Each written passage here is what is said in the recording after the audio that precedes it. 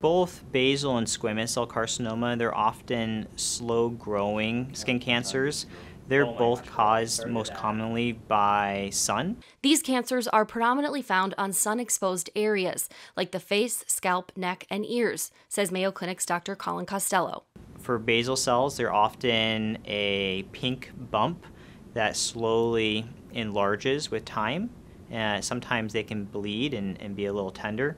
Squamous cell carcinoma may look like a skin colored bump. Sometimes they can get painful and ulcerate or kind of be almost like a non healing wound. Early diagnosis and treatment for these non melanoma cancers are crucial.